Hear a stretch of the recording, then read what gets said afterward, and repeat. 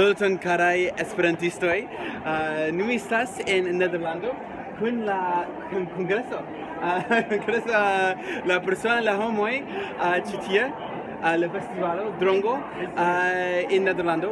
Um, uh, que uh, parolas uh, en Esperanto. Uh, citia uh, uh, uh, Federico. Yes. Kai uh, Ineke. Ineke yes. Ineke uh, uh Ronald kai vi nomigas Angus Andris. Andris. Andris kai kai Peter. kai Peter, kai Bert. kai Bert. Bert.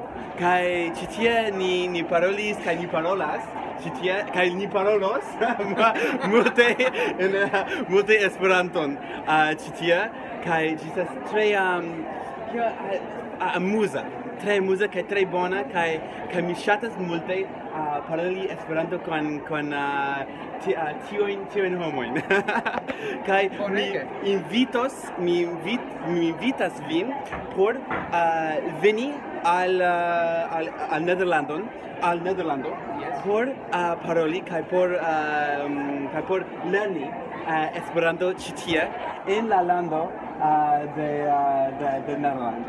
Bonne. Bonne. Bonne. Okay, Cheese. Just let. Cheese.